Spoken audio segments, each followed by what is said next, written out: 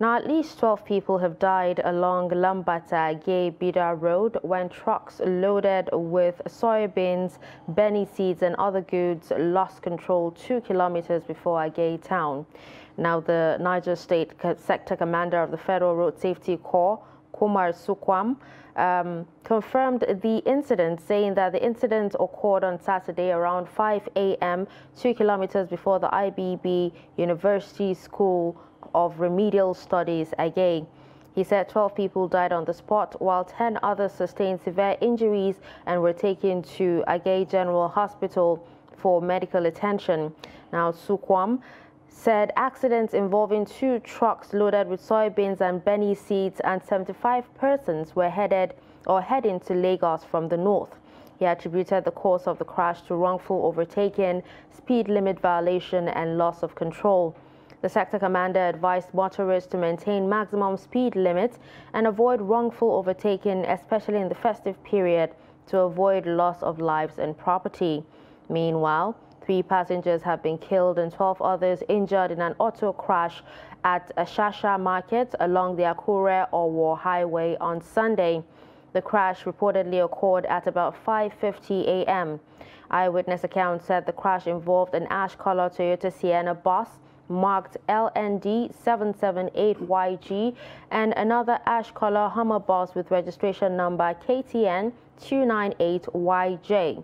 The crash was said to have been as a result of wrongful overtaking and speeding. Ondo State Sector Commander of the Federal Road Safety Corps, Ezekiel Sonallah, said three persons died in the crash while 12 were injured.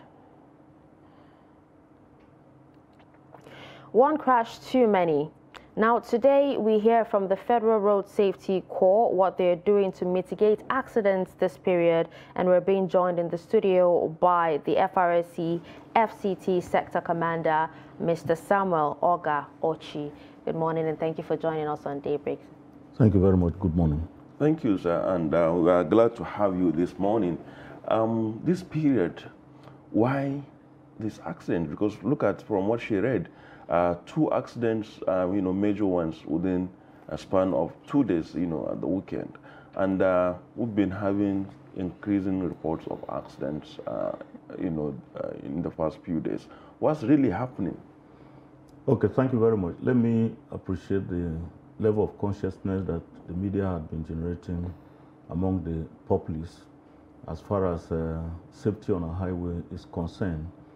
Like you rightly pointed out, we have been recording series of crashes when it comes to what we generally refer to as ember months. And we are looking at uh, September, October, November to December.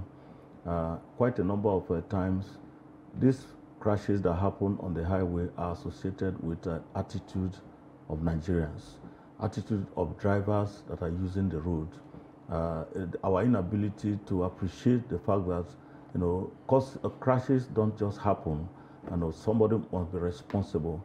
Uh, I think that has been the major problem that we have when we look at the, the number of crashes that happen during the ember month.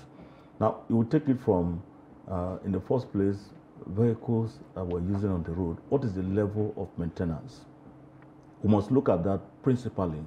And not only that, the, the drivers of this vehicle, what are their level of preparedness to use the road? You know, if the, the, the, incidences that you have just recorded, the one that happened in Niger State, mm. and then the one that happened in Ondo State, all of them happened in the night. Uh, they happened at the time that, you know, level of enforcement has reduced. They happen at the time that people are expected to be resting, you know, and the people that are driving these vehicles never took enough rest the day before, and they are driving. And quite a number of times, we have also realized that a number of them had some level of influence, you know, you know, trying to keep themselves up in the night while they're just driving.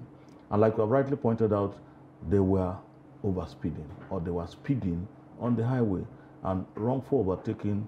These are the things surrounding a number of the crashes that we record during the ember month. Of course, we know that a number of people are moving from the north to the south, from the south to the north. Those of them that have not been able to get to their families for a long time We want to celebrate the festive period in their homes.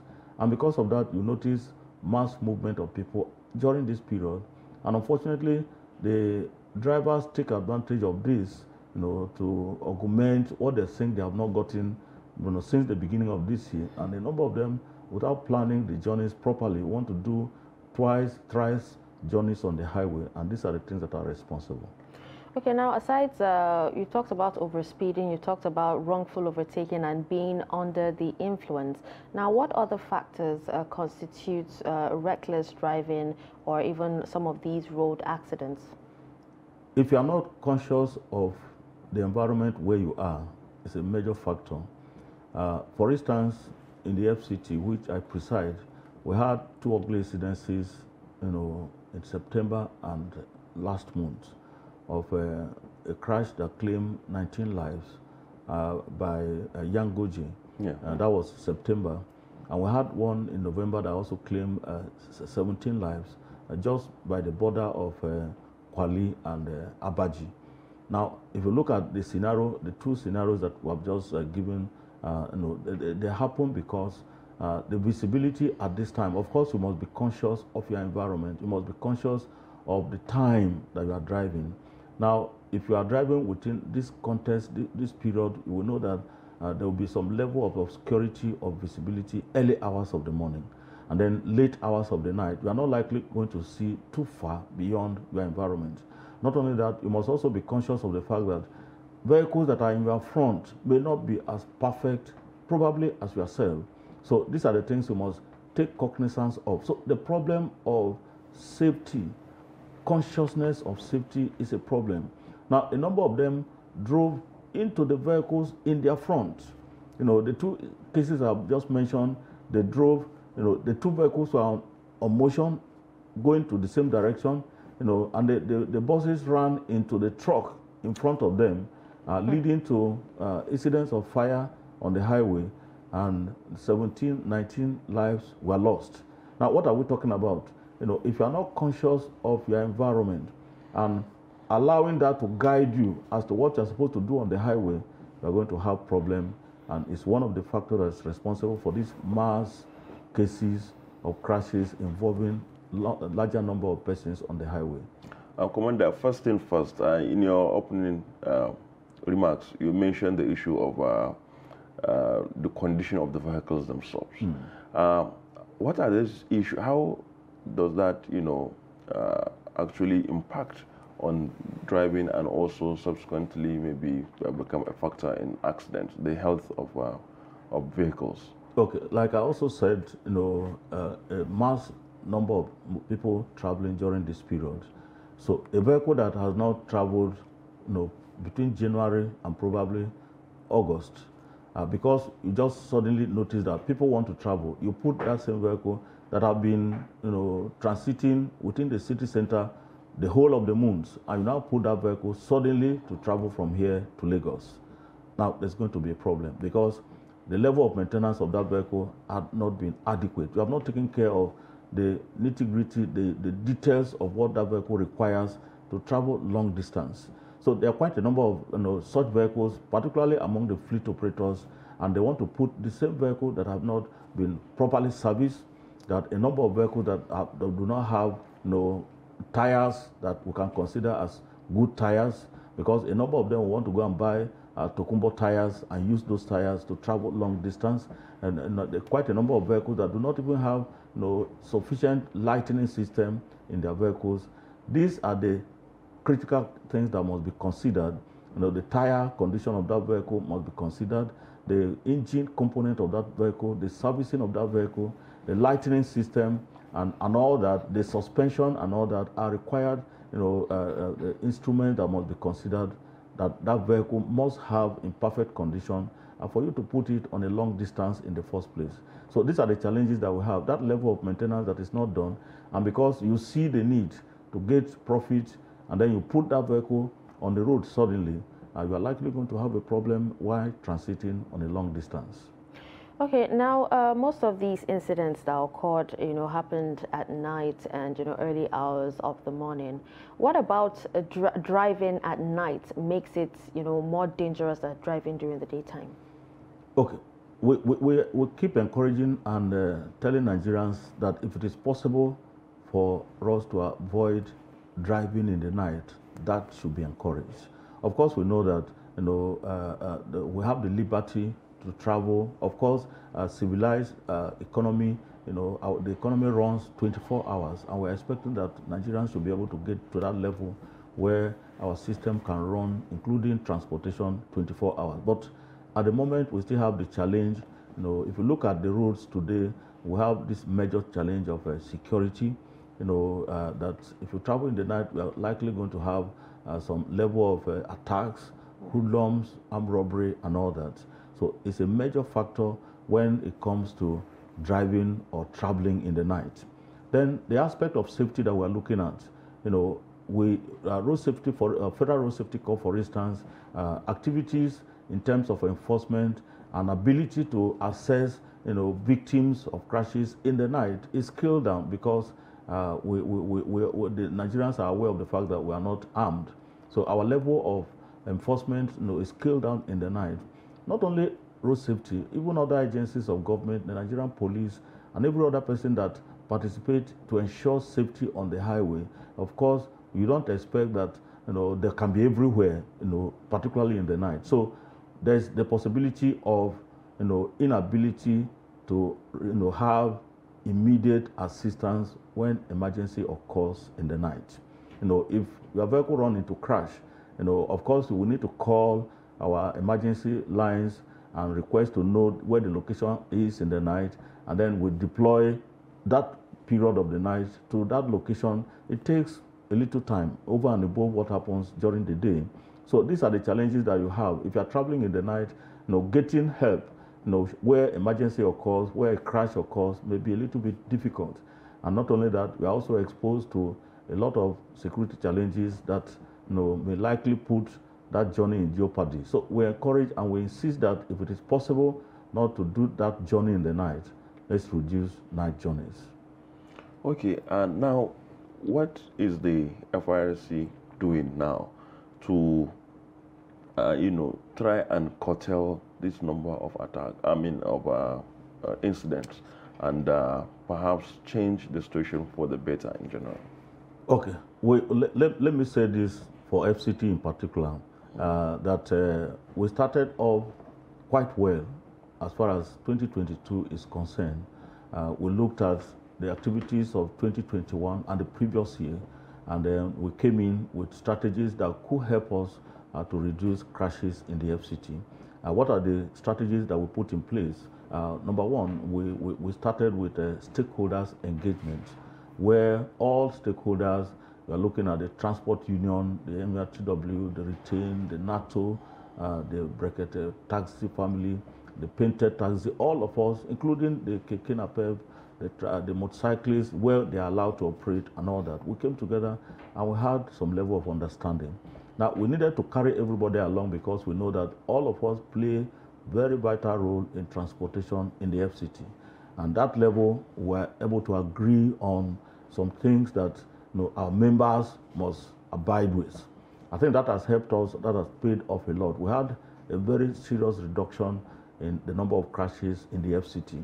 Not only that, we also noticed that uh, a number of fatalities that we record in the FCT, they happened mostly by weekends. And that is when people you know, go to relax in clubs and they are coming back early hours of the morning of uh, Saturday, Sunday, you know, and they are still driving. Now we came up with a strategy to address that, where in the FCT, in all the 14 units of the FCT, uh, we uh, uh, undertake what we call Operation Flush. No, we, we, we do that to checkmate those that are driving under influence. So we do random checks by breathalyzer mm. on the people that are driving early hours of the morning on Friday, on Saturday, and on Sunday. And quite a number of persons have been, you know, detected. We have had that level of collaboration with other agencies of government, the NDLEA.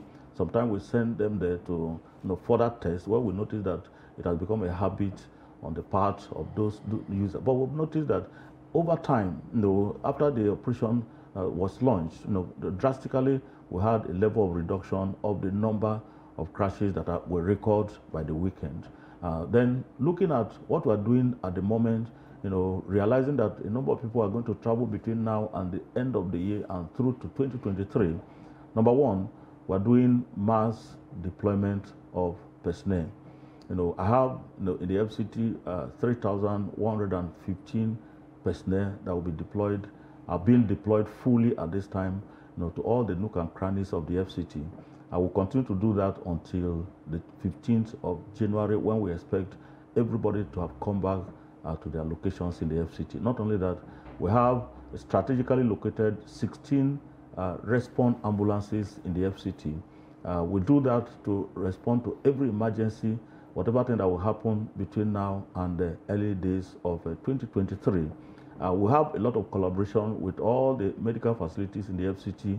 Uh, the problem we used to have in the past is the fact that when you know, a crash victim is you know, rushed to a medical facility, we, always record a rejection. We don't have space, uh, and we cannot do that because there's no payment. I think we have gotten over that, you know, because of our level of relationship uh, with all the medical facilities in the FCT. So we have, you know, quick response now to all cases of emergency in the FCT. Not only that, we are looking at uh, where we, we have blockages, you know, as a result of breakdown of vehicles.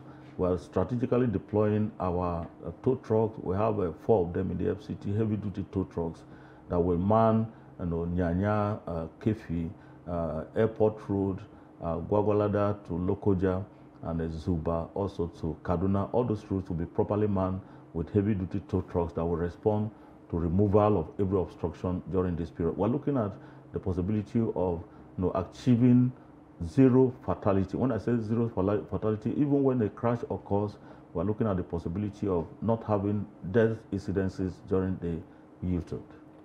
Okay, but how valid, you know, uh, are the complaints by some uh, motorists that the cause of some of these accidents are bad road networks, even in the FCT? Okay. Uh, let me take FCT just like we have said, you know, as an example. Uh, for some time now, you know, a number of years now, FCT, you know, after Lagos probably has the highest number of crashes nationwide. But then, you know, to be fair to every one of us, FCT, of all the states of the Federation, has the best road network. I think I don't need to you know, uh, uh, bring any picture for us to have that because we are all aware that the government have done so well in the FCT. We have good roads all over the place. And uh, of course, we still have challenges uh, when you are getting to the area council uh, and then and all that. But then, generally, we have better roads as compared. I've been to even Akwa Ibom. I was the commanding officer in Akwa Ibom before I came back to uh, FCT. Akwa Ibom had good network, but we cannot compare that to what uh, uh FCT has. But unfortunately, we're having higher number of crashes. So I don't think one can completely say that is because of bad roads that we have crashes. I made a statement from the beginning and I said it is our attitude. It is the problem of our inability to respond positively to obedience to road traffic regulation. That is the major factor. Now, I want to let you know that in the FCT, over 75% of the crashes that we record in the city center are as a result of overspeeding. And people take advantage of the fact that the roads are good. Looking at this period now, between 20th to early days of January, you are going to have scanty population in the FCC, that is the city center. You are going to have, because most of the people must have traveled and we are going to have less number of movement, less number of vehicles in the city center. It has always been the experience over the years. And then during that period, you see a lot of accidents in the city center and you begin to wonder how did they happen? That is because people take advantage of the fact that the roads are free, and the roads are good, and then they overspeed in the city center. You see some of them doing stunt driving, you know, driving against traffic, even though there's no reason to do that. And they do all that, and at the end of the day, crashes, you know, the record of crashes, you know, got increased, you know, because of the attitude of Nigeria. And that is why we're addressing this problem of attitude by a lot of public enlightenment, public sensitization to the churches, to the mosques. We have been doing that since we entered August this year. We have been to churches, we have been to mosques to let the people know that look, lives are perishable and we don't have any way of replacing them. Once it happens, that is the end of life. I think we need to do that to get that buy-in from those that are users of the road for us to have safety in the FCT. Talking about uh, overspeeding, let's have some education. What is the legal uh, uh, threshold or recommended speed limit for people driving in the city center and also on the highways? Okay. Uh, when I say overspeeding, of course, I'm using that term because that is what generally people get to appreciate. But of course, the right term is uh, speeding. Speed limit. Okay, no, speeding. Mm-hmm. You know, if you are speeding, you know, uh, you should realize that there are laws guiding uh, what level or what, uh, you are expected to do on a particular route and on a particular environment. By the standard of the United Nations, you know, uh, decade of action, uh, you are not supposed to drive beyond 30 kilometers per hour in a build-up area. And if you look at the whole of the FCT, for instance, if you're looking at Asokoro, if you're looking at uh, uh, Maitama and all that, you know, these are highly built-up environment. In fact, the whole of the FCC can be considered as built-up area. So we are not expected to drive beyond 30 kilometers in the city center. And if you are looking at also environments outside the city center, you are transiting from Zuba to Gwagwalada, uh, you are transiting from Nyanya, of course, very densely populated. You are going through Abacha Barracks to uh, Keffi. These are, these are also environments that may be considered as densely populated and built up areas. So beyond 30 kilometers will not be allowed in this environment. Now, generally, uh, the law allows driving on the expressway 100 kilometers per hour for uh, cars, you know, and then you know, at whatever nature of vehicle that you are driving, it goes within that range. If you are driving a bus, you know, allowable this uh, uh, per, per, kilometer uh, uh, uh coverage is about 60 kilometers per hour. And, uh, and if you are driving other trucks, of course, the provisions are there in the highway code as to which vehicle is allowed to drive, you know, between particular kilometers per hour. All right, now just before uh, we wrap up, now reports have it that you know the highest fatalities, you know, is uh, recorded during the Yuletide season, and it's here again. Mm. So, what advice do you have for motorists out there? Okay, again, for motorists in the FCT or you are transiting out of the FCT, let us reduce our speed. Let us drive to arrive at our locations safely. Not only that, know, the, the, the, this period we're in uh, also characterized with a lot of uh, uh, harmattan haze. Mm. You know, if you're driving early hours of the morning, you should make sure that your, your lighting systems are in good position. Watch out for the vehicle that is in your front. They may not likely be in the position uh, to dem or to display enough caution. So you take a lot of caution to overtake so that we don't have you know, carnages continually on our highways. Okay, uh, maybe before we end, your men, let's leave the thing also. Uh, there are a lot of complaints uh, or experience by motorists in the FCT of, uh, especially lately, you know, uh, road safety officers are flagging down people even while they are moving, you know, moving vehicles. And uh, sometimes, uh, uh, you know, there are also allegations of demands for, for, bribes and all that. Um, you know, can you talk about some of these things? Okay we, we cannot completely say that our men are free, you know, from what is happening in the society. Of course, uh, a number of uh, cases have been brought to my table and we have handled, and we have confirmed that yes, you know, one or two elements among us uh, may be guilty of this. Of course, we have our internal mechanism to deal with cases like that. You know, if you are caught, you know, collecting or extorting money from the general public, collecting bribe. Of course, the laws are there and we follow the laws appropriately. I've always told the media each time I have the privilege of interacting in any of the media house that my lines are in the public view. You know, please, if there are reasons why you must call me, not just the area of people asking of bribe, if you see any level of misbehavior of our men on the highway, please feel free to call my line or get to my office and that issue will be attended. And I think, you know, to, to be very fair uh, to me, if the Nigerian society, those that have had cause to interact with me will do that, I think I've been handling every case that have been brought to my table. All right, thank you so much, uh, Commander, for taking time out to enlighten us on this issue. Thank, thank you. you very much.